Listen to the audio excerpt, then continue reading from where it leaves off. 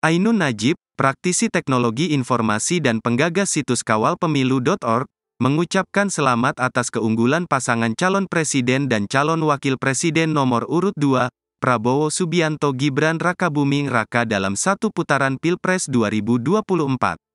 Pasangan tersebut berhasil meraih suara hingga 58,44 persen menurut perhitungan kawal pemilu.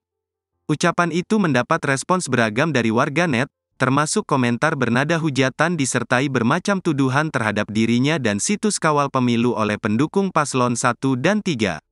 Kawal pemilu melalui akun X resminya, at kawal pemilu garis bawah org pada Selasa, 12 per 3, menampik setiap tudingan kecurangan atau keberpihakan yang dialamatkan kepada mereka. Burhanuddin Muhtadi, Direktur Eksekutif Indikator Politik Indonesia, turut menanggapi tudingan negatif yang dialamatkan kepada kawal pemilu dan Ainun. Berikan tanggapan kalian,